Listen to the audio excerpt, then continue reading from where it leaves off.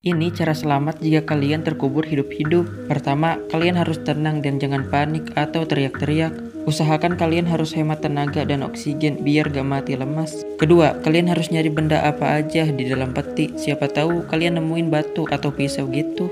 Dan coba ngasih kode dengan cara ngetuk-ngetuk peti guys.